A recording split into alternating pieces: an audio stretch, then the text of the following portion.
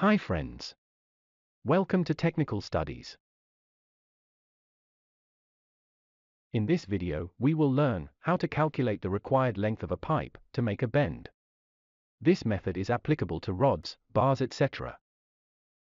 To calculate the required length of a pipe to make a bend, we need to know the bend radius, the including degree, and the diameter of the pipe. In a drawing, usually, the mean radius or the center radius is given. Suppose the outer radius is given. Subtract the half diameter from the outer radius to get the center radius. Assume the diameter of the bend is 60 mm, and the outer radius is 600 mm, then the mean radius is 600 minus half the diameter of the pipe is equal to 570 mm. In our drawing, there are two bends, one is 90 degree and the other one is 45 degree. Let us calculate the pipe length for the 90 degree. The formula is radius multiplied by 2 multiplied by 3.14 divided by 360 multiplied by the required degree.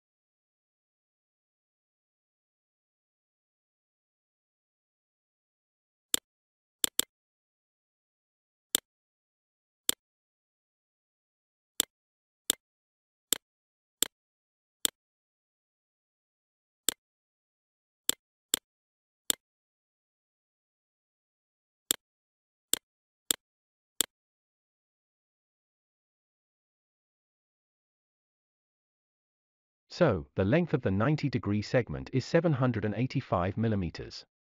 Let us calculate the length of the 45 degree segment.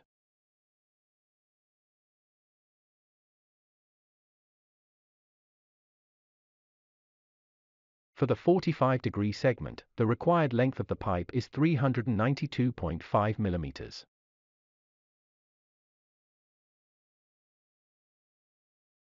Add these lengths. The total length of the pipe is 2489.5 millimeters. An important thing to remember.